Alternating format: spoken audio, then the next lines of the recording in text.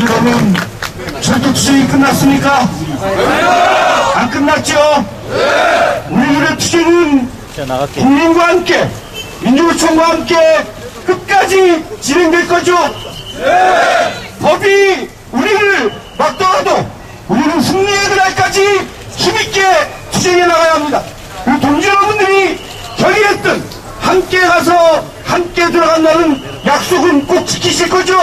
지 키실 거죠? 승리의 그날까지 우리 지도부를 보내지만 우리 힘있는 투쟁으로 지도부를 엄호해 나갑시다. 동지 여러분 그렇게 하실 수 있습니까?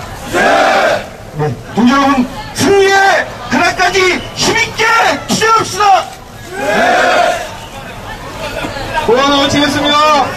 자, 뒤에 국장님! 자, 다시 한번 경고합니다.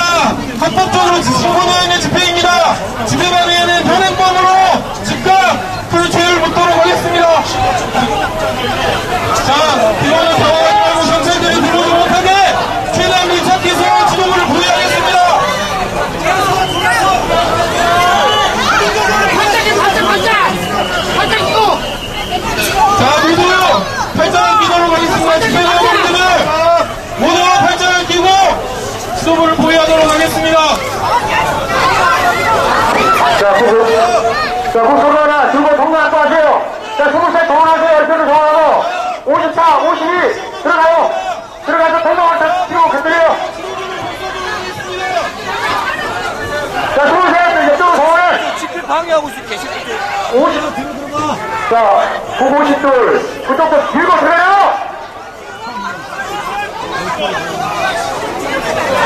자, 손 하나도, 그쪽 뒤로 들어가세요. 힐자리 옆으로 대기로 가운데 손도 받아가세요. 이쪽 막아요 이쪽 막아요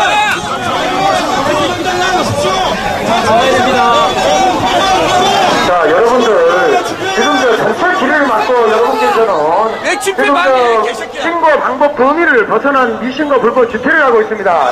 신고 범위를 벗어났습니다. 여러분의 있는 17번 16조 사항 3호에 위반됨에 따라 남는 남동훈 경기사장이 경찰서장의 명을 받아 17번 20조 1항 5호에